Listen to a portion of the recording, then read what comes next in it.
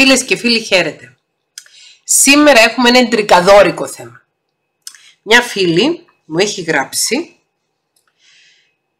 ότι θέλει να κάνω θέμα με τίτλο και όμως τα λεφτά φέρνουν την ευτυχία. Ρωτάει όμως και τη γνώμη μας στο τέλος. Γι' αυτό έβαλα στον τίτλο και όμως τα λεφτά φέρνουν την ευτυχία. Ποια είναι η γνώμη σας. Το διαβάζω κατευθείαν. Αγαπητή, σου, αγαπητή Θέκλα, γεια σου. Χαίρετε. Μιας και το κανάλι σου αναλώνεται στη ψυχοεκπαίδευση, θα ήθελα παρακαλώ πολύ να κάνεις θέμα με τίτλο «Και όμως τα λεφτά φέρνουν την ευτυχία». Με ενδιαφέρει τόσο η δική σου άποψη όσο και της κοινότητας. Ψάχνεις άλλο θικόρι; Είμαι κοντά στα 30. Μέχρι και το πέρας των προπτυχιακών μου σπουδών πίστευα στην ανθρωπιά, στο φιλότιμο, στην εντιμότητα και γενικά στην πνευματική πρόοδο, στην οποία δεν συμπεριλαμβάνονταν τα υλικά αγαθά, η κοινωνική και χρηματική ισχύ απαραίτητα ή στην στήρα σειράς σπουδών που γίνονται καταναγκαστικά ή στην ενασχόληση με την εξωτερική ομορφιά. Μέγα λάθος. Και το λέει με κεφαλαία. Μέγα λάθος. Όλα αυτά δεν την αναιρούν. Η φιλοδοξία για ανέλυξη δείχνει αποφασιστικότητα και όραμα. Η ομορφιά καλή σχέση με τον εαυτό. Το κυνήγι της μόρφωσης, ομορφιάς και εργασιακής θέσης δεν εμφανίστηκε εξάλλου στις μέρες μας. Στο προκείμενο τώρα. Μετά το πέρας του σπουδών μου, για τις οποίες κατέβαλα και δικά μου χρήματα, είδα τον κόσμο αλλιώς. Δυσκολεύτηκα πολύ μέχρι να βρω δουλειά, μέχρι να αρχίσει, μέχρι την έναρξη του μεταπτυχιακού μου σπουδό. Βρε, γιατί γράφεις σαν να είσαι 70 χρονών, σαν να γράφεις έτσι στη ψιλοκαθαρεύουσα. Δυσκολεύτηκα πολύ μέχρι να βρω δουλειά, μέχρι την έναρξη του μεταπτυχιακού μου σπουδού. Με τα τρέχοντα έξοδα του ενοικίου, φαγητού, ρεύματος, νερού, κοινοχρήστων, διαδικτύου, προβλεπόταν πως θα ξεκινούσαν σε δύο χρόνια χωρίς δάνεια ή υποστήριξη από τους γονείς. Βίωσα επίσης σκληρές και επώδυνες καταστάσεις, ψέματα και εξαπάτηση που πλήγωναν και προσέβαλαν, προδοσία. Έχω την εντύπωση ότι χρησιμοποιείς αυτή τη γλώσσα και αυτό το ύφος γιατί γράφεις απομακρυσμένα από το συνέστημά σου. Νομίζω, μπορεί να έχω και λάθος. Είπα ο κόσμος ίδιος. Καλύτερα να συναναστρέφω με την αφρόκρεμα, μπας και αλλάξει τύχη μου. Δεν είχα άδικο. Η αφρόκρεμα και η λαϊκή ψωνισμένη ως το κόκαλο. Δεν θεωρούσα πως με ξεπουλούσα φτηνά. Γνώρισα κιόλας ανθρώπους γενναιόδρους στην καρδιά, όπως τον τωρινό σύζυγό μου. Η έλξη ήταν αμοιβαία. Σε αυτόν εξελίχθηκε σε έρωτα και σε μένα σε εκτίμηση. Άρα εσύ τον παντρεύτηκες από εκτίμηση και από συμφέρον οικονομικό και αυτός από έρωτα. Γιατί το λυπάμαι; Γιατί μπορώ να μπω άνετα στη θέση του; Μπορώ να μπω πολύ άνετα στη θέση του. Δεν θέλω να μιλήσω για τους πρώην μου, αλλά μπορεί να μπω πολύ άνετα στη θέση του τα συλληπιτήριά μου στο σύζυγο. Η αδερφή μου θεωρούσε πως θα το μετάνιωνα σαν ερωτευόμουν κάποιον αργότερα, αλλά είδα και που ερωτεύτηκα. Ο γάμος ήταν και είναι συμφωνία κινήτρων. Τα άλλα περί συναισθημάτων είναι μπαρμπούτσαλα. Τι μου θυμίζεις τώρα που έψαχνα συναισθήματα εγώ; Εκεί που ήταν άλλα τα κίνητρα και έδινα συναισθήματα απλόχερα και πληγωνόμουν. Ακούσεις λίγο και την άλλη πλευρά. Πόσο πόνο προκαλεί κάτι τέτοιο. Είναι, είναι μπαρμπούτσαλα τα άλλα περί συναισθημάτων. Επειδή εσύ δεν νιώθεις συναισθήματα γι' αυτόν τώρα, είναι μπαρμπούτσαλα. Μ' αρέσει που χρησιμοποιείς όλη αυτή την καθαρεύουσα και πετάς και ένα μπαρμπούτσαλα στο τέλος. Δεν ξέρω τι σημαίνει, είναι αργό, αλλά πρέπει να σημαίνει μαλακίες. Τον αγαπώ με τον καιρό και τον τιμώ με στήριξε στις μεταπτυχιακές μου σπουδές και εργάζομαι στο αντικείμενο των σπουδών μου. Δεν παρέμεινα απλή ταμείας με ανε... ενέλπιδο μέλλον, λες. Ενέλπιδο σημαίνει ότι είχε ελπίδα. Μάλλον ανέλπιδο που θέλεις να γράψεις. Αλλά ακόμη και τα λάθη μας και στα λάθη μας μιλάει το υποσυνείδητό μας. Λες, δεν παρέμεινα απλή ταμείας με ενέλπιδο μέλλον, ενώ ήθελες να γράψεις με ανέλπιδο μέλλον. Δεν μένω στο ενίκιο. Δεν έχω έναν σπιτό νοικοκύρη να μου τα πρίζει. Κάνουμε ταξίδια και συχνά διήμερα. Έγινε η καθημερινότητά μου πιο υποφερτή. όσοι ισχυρίζονται πως το χρήμα δεν φέρνει την ευτυχία είναι απλά κομπλεξικοί. Λοιπόν, μια κομπλεξική σε χαιρετάει. Γεια, είναι πολύ κομπλεξική. λοιπόν, σε ευχαριστώ Θέκλα, καλή συνέχεια στο πολύτιμο έργο σου και βάζει και το όνομά της αλλά δεν τη δίνω. Λοιπόν, εσύ ταιριάζεις πάρα πολύ με εκείνον τον άνδρα που μου έγραψε τις επιστολές λογαριάζοντας χωρίς το ξενοδοχό. Θα ακούσεις την άποψή μου και θα διαβάσεις και στα σχόλια τις απόψεις στο φίλου. Επειδή μεγάλωσες στερημένη από χρήματα και οικονομική ενίσχυση από την οικογένειά σου, λες κιόλας ότι εργαζόσουνα και συνεισέφερες κι εσύ για τις προπτυχιακές σου σπουδές,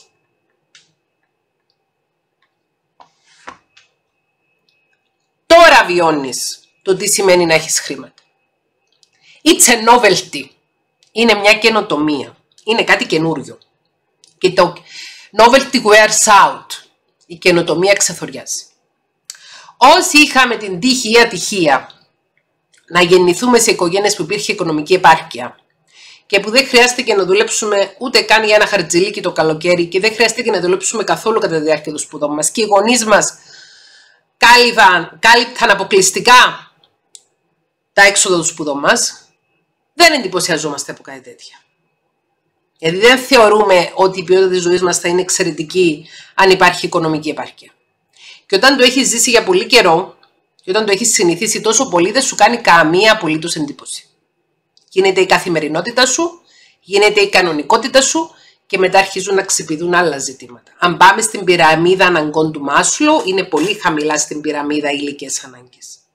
Τροφή, στέγη, οικονομική επάρκεια κτλ. Και όσο πάει ο άνθρωπος πιο ψηλά, έχει και πιο συναισθηματικές και πιο πνευματικές ανάγκες. Ήσουν χαμηλά στην πυραμίδα αναγκών του Μασλού, έκανες αυτή την επιλογή που έκανες και τον πήρες στον άντρα σου χωρίς να τον αγαπάς, χωρίς να είσαι ερωτευμένη μαζί του για να σου δώσει οικονομική κάλυψη. Δεν σε κατακρίνω.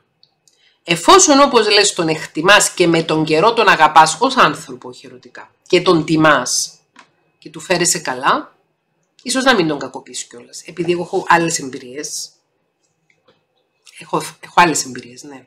Έχω άλλες εμπειρίες, γιατί αν κάποιος πλησιάζει έναν άλλον άνθρωπο και του πουλάει αγάπης και έρωτες, ενώ στην πραγματικότητα θέλει να καλυτερεύσει το βιωτικό του επίπεδο, μετά θα βγάλει και πολύ πικρία πάνω στον σωτήρα του και θα κακοποιήσει αθέατα το σωτήρα του και θα ζηλέψει και φοβερά το σωτήρα του γιατί εσύ να έχεις γεννηθείς σε οικογένεια που υπήρχαν λεφτά, γιατί εσύ και να έχεις κάνει σπουδές χωρίς να ταλαιπωρηθείς, γιατί εσύ να έχεις τόση όρεξη να δουλεύεις τώρα επειδή είχες όλα αυτά τα, τα ωφελήματα προηγουμένως. Λοιπόν, θα σου πω τη δική μου ιστορία. Στα 26 μου αποφάσισα συνειδητότατα να απορρίψω τα πλούτη της πατρικής και μητρικής μου οικογένειας και την οικονομική επάρκεια που μου έδινε όλη αυτή η στενή σχέση μαζί τους προκειμένου να αποκτήσω την ελευθερία μου. Γιατί ήξερα πολύ καλό ότι χωρίζοντας από τον πρώτο μου σύζυγο και πατέρα των παιδιών μου, οι γονείς μου θα με αποκλήρωναν οικονομικά. Το ήξερα και το έκανα. Και μπράβο τους. Καλά έκανα, μου έδωσαν την ελευθερία. Στα 26 μου, άβγαλτη παντελώ και χωρίς να έχω πεινάσει ποτέ μου, βρέθηκα να μην έχω καθόλου χρήματα. Ήταν πολύ σκληρό, ήταν πολύ δύσκολο, αλλά πολεμούσε για την ελευθερία μου. Το έχω πει αυτό και στο φίλο που είχε γράψει την επιστολή λογαριάζοντας χωρίς το ξενοδόχο. Έχω περάσει περιόδους που δεν είχα καθόλου χρήματα, έχω περάσει περιόδους που δανειζόμουν για να περάσω και έχω περάσει περιόδους που έκανα δουλειές που δεν ήθελα να κάνω προκειμένου να έχω μόνη μου την οικονομική επάρκεια μεγαλώνοντας και δύο παιδιά παράλληλα χωρίς διατροφή από τον πατέρα τους, για λόγους που δεν είναι της ώρας να επεξηγήσω. Και το έκανα αυτό το πράγμα έχοντας πλήρη συνειδητοποίηση και πλήρη γνώση ότι τα λεφτά δεν φέρνουν την ευτυχία. Δεν φέρνουν την ευτυχία τα λεφτά. Δεν θα αρνηθώ το γεγονός ότι όταν ζορίζεσαι οικονομικά στενοχωριέσαι. Δεν θα αρνηθώ το γεγονός ότι όταν δεν έχεις τα χρήματα για να πληρώσεις το ενίκιο σου αγχώνεσαι. Όταν δανειστείς από ένα φίλο σου χρήματα και πρέπει να τα επιστρέψεις, χαλιέσαι. Όταν έχεις ανάγκη να ψωνίσεις για το σπίτι και δεν έχει μέσα λεφτό τραπεζικός σου λογαριασμός, μελαγχολείς. Δεν θα το αρνηθώ αυτό. Συμβαίνει. Και μπορεί να συμβεί μέχρι και σήμερα σε μένα.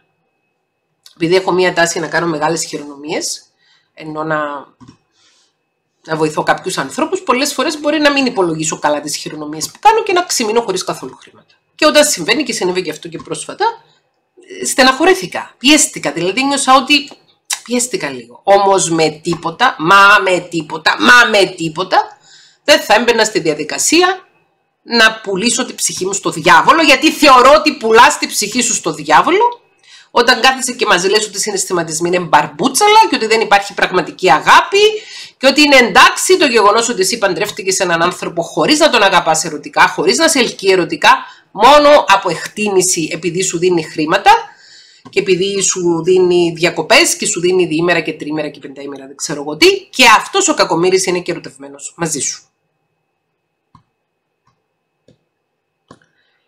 Και αυτό που έκανες εσύ που πήγες να συναναστραφείς στην αφρόκρεμα. Εγώ έκανα το αντίθετο.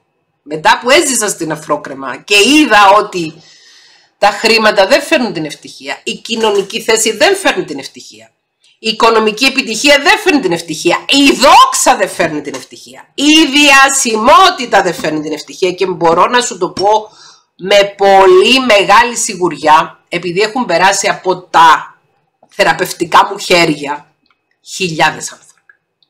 Και επειδή ειδικά τον τελευταίο καιρό πρωτού κλείσω το γραφείο χρέωνα αρκετά ψηλή τιμή προκειμένου να μην είναι απαγορευτική και να μην έρχονται οι άνθρωποι και να μπορέσω σιγά σιγά να κλείσω το γραφείο, έχω συναντήσει πολλούς επώνυμους και πάμπλουτου ανθρώπους οι οποίοι ήταν τρομερά δυστυχισμένοι. Τρομερά δυστυχισμένοι Είμαι σίγουρη πως τα χρήματα δεν φέρνουν την ευτυχία. Είμαι σίγουρη ότι το να πουλήσεις τη ψυχή σου στο διάβολο καθιονδήποτε τρόπο είτε με το να παραμείνεις ε, προσκολλημένος σε γονείς οι οποίοι σε καταπιέζουν και σε κακοποιούν ψυχολογικά προκειμένου να λαμβάνεις τις οικονομικές τους παροχές, είτε με το να παραμένεις σε ένα γάμο χωρίς αγάπη, a loveless marriage, προκειμένου να έχεις, να έχεις τη βολή σου, είτε να, να κάνεις οτιδήποτε άλλο που δεν είσαι εσύ προκειμένου να έχεις οικονομική άνεση. Ξέρεις ποια είσαι εσύ. Ποια είσαι εσύ. Αν εσύ είσαι, αν εσύ είσαι ένας άνθρωπος ο οποίος ενδιαφέρεσαι μόνο για την ύλη, σε ενδιαφέρει μόνο ρε παιδί μου η τσάντα που κρατάς να έχει αυτή τη μάρκα. Τι είναι αυτές οι τσάντες που αγοράζεις, δεν ξέρω καν. Εγώ φοράω κάτι τσάντες που βάζει στον νόμο για να μπορώ να είναι τα χέρια μου ανοιχτά όταν περπατάω από αυτές που φοράνε οι μικροί που πάνε στο σχολείο. Κάτι τσάντες της Kipling χρησιμοποιώ. Τέλος πάντων. Αν θες μια επώνυμη τσάντα που να κάνει 1000 ευρώ, 1500, 2,5, δεν ξέρω πόσα. Αν θες να φοράς επώνυμο γυαλί, αν θες να φοράς επώνυμα να, να οδηγείς ένα πολύ ακριβό καινούριο αυτοκίνητο, αν θες να ζεις σε ένα πολυτελέστατο σπίτι και αυτό είναι για σένα ευτυχία και αυτό είναι για σένα χαρά, κάντο. By all means. Όμως, θέλω να σε ρωτήσω, γιατί είσαι στο κανάλι μας. Γιατί είσαι στο κανάλι Μήπως, μήπως, μήπως λέω. Υπάρχει μέσα σου ακόμη κάποιο στοιχείο πνευματικότητας που σε κάνει να διαρωτάσαι για το που βρίσκεσαι και τι κάνεις. Και δεν μπορώ, δεν μπορώ, θα σου απαγγείλω καβάφι. Μα δεν γίνεται. Δεν γίνεται. Θα σου απαγγείλω τον καβάφι. Δεν γίνεται διαφορετικά. Είναι για καβάφι αυτή η ώρα. Σου διαβάσω θα σου διαβάσω από τον καβάφι τη σατραπία. Και μετά θα σου πω και για το γάμο σου. Η σατραπία. Τι συμφορά ενώ είσαι καμωμένος για τα ωραία και μεγάλα έργα, η άδικη αυτή σου η τύχη πάντα ενθάρρυνση και επιτυχία να σε αρνείται. Να σε εμποδίζουν ευτελείς συνήθειες και μικροπρέπειες και αδιαφορίες. Και τι φρικτή η μέρα που ενδίδεις, η μέρα που αφέθηκες και ενδίδεις και φεύγεις ο διπόρος για τα σούσα και πιένεις τον μονάρχη Αρταξέρξη που ευνοϊκά σε βάζει στην αυλή του και σε προσφέρει σατραπίες και τέτοια. Και εσύ τα δέχεσαι με απελπισία αυτά τα πράγματα που δεν τα θέλεις. Άλλα ζητεί η ψυχή σου, για άλλα κλαίει. Τον έπαινο του Δήμου και των σοφιστών, τα δύσκολα και τα ανεκτήμητα έβγε, την αγορά, το θέατρο και τους Στεφάνους. Αυτά που θα στα δώσει ο Αρταξέρξης. Αυτά που θα τα βρεις στη σαντραπία. Και τι ζωή χωρίς αυτά θα κάνεις. Κωνσταντίνος Καβάφης πριν 121 χρόνια. Τα αγαπημένα μου βιβλία. τα ποίηματα εν όλο του καβάφι. Λοιπόν, τώρα για το γάμο σου. Για το γάμο σου.